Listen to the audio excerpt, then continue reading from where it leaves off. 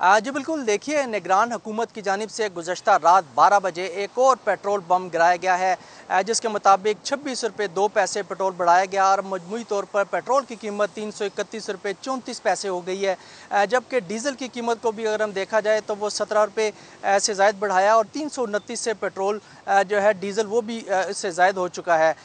اب ہم petrol pump کا جب سروے کیا تو لوگ یہاں پر کافی غم و غصے میں بھی ہیں اور مایوسی کا اظہار کر رہے ہیں کہ آئے روز یہ پیٹرولیم مصنوعات کی قیمتوں میں اضافہ ہوتا جا رہا ہے جس سے ایک امپیکٹ پڑے گا نئی مہنگائی کا۔ ہمارے ساتھ اس وقت موجود ہیں، شہری بھی ہم ان سے بات کرتے ہیں۔ السلام علیکم سر۔ سر، یہ بتائیں کل جو پیٹرول جو بڑھا ہے، اس پر آپ کیا کہتے ہیں؟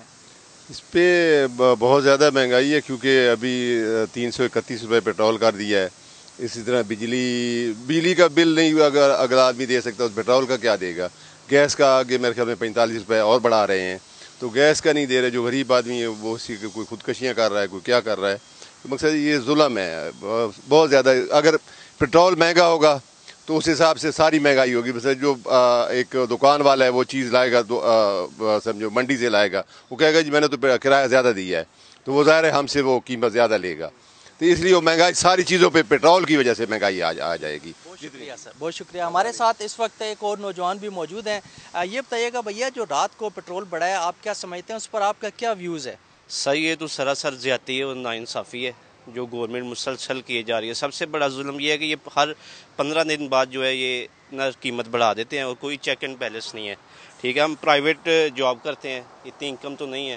اور سارا جو ہمارا انکم ہے وہ ساری آنے جانے میں ہم گھر نہیں جا سکتے۔ اب بائک کھڑی کر دی ہے، پیدل آ رہے ہیں۔ کیونکہ اتنا تو ہم افورڈ نہیں کر سکتے کہ اگر ہم ایک چکر لگائیں آفس سے ریزیڈنس کی طرف پھر واپس آئیں، تو ہمارا ایک لیٹر تو ویسے خرچ ہو جاتا ہے۔ تو ہم ڈیلی کا تو ساڑھے تین سو، چار سو کا فیول نہیں افورڈ کر سکتے۔